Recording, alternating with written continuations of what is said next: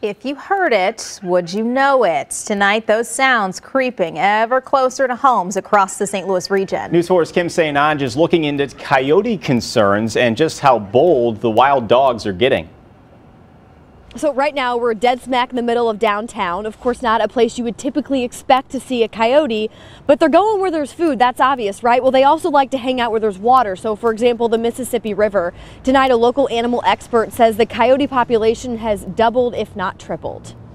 This is the way they come up all through here. Just in the last month, some 10 coyotes have been caught outside Janet Freeman's Fairview Heights home. What makes me afraid for our pets and afraid for us if they're stalking our neighborhood, especially we have small children in the area. It's not so much how many she's seeing, but how close they're getting to her home that has her worried. It seems like they're getting bolder.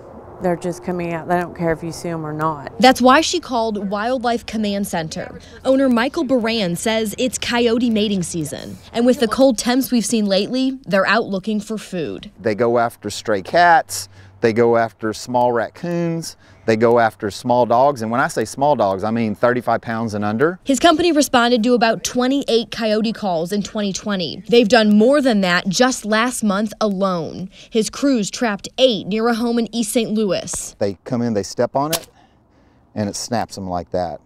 So it doesn't hurt at all. I'm going to take a picture of him. A man in Maryland Heights shared this video after he says coyotes took down a deer in his girlfriend's backyard. The population of animals is not increased more than it normally does. But what happens is more people, more eyes are seeing them more frequently because they're at home. And in rare cases, coyotes are so bold they'll break into houses. Like this one, a West County woman discovered was in her basement for three days after getting into a fight with a neighbor's dog. Well, watch my surroundings, uh, keep an eye on my cat when I'm walking him on our property.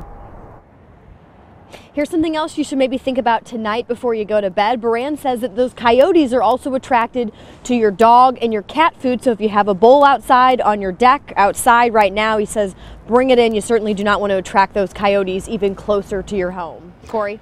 Yeah, so Kim, we know the problem. What's the solution? Think a lot of people are asking that. So the Department of Conservation actually requires that those trapped coyotes be euthanized.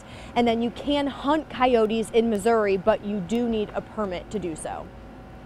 All right, Kim St. Onge live downtown for us tonight. Thank you.